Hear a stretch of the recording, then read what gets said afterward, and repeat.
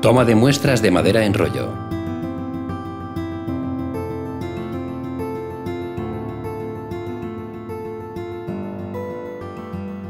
Bienvenidos a esta explicación sobre el uso de las herramientas para la toma de muestras de madera en rollo. Se pone la broca de tapones y se aprieta bien el mandril para que no se deslice.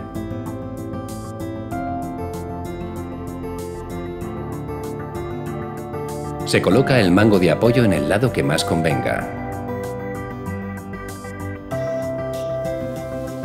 Nos ponemos los guantes y las gafas de seguridad. Se pone la máquina en marcha. Se sujeta con fuerza y se entra aplicando presión. Hay que taladrar de forma perpendicular al eje del tronco para facilitar la extracción de los tapones. Si vemos que la broca no avanza puede ser que esté embozada con la viruta. Entonces la sacamos un poco y la volvemos a meter presionando con fuerza. La profundidad mínima de barrenado será de 30 milímetros. Una vez finalizado el corte se mete la gubia y acuñamos con un golpe en dirección al eje del tronco, para que el tapón se libere del tronco. Se escucha como parte, se hace lo mismo en el lado opuesto.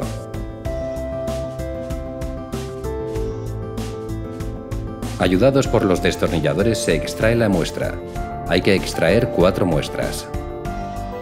Introducimos cada tapón en un bote o bolsa que identificamos con el código de muestra.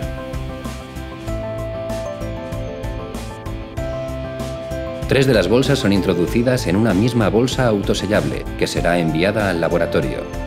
La cuarta muestra, debidamente identificada e introducida también en bolsa autosellable, será entregada al responsable de la empresa sometida a muestreo. Y eso es todo. Para más información, estamos a vuestra disposición en el Laboratorio de Anatomía de la Madera del INIA.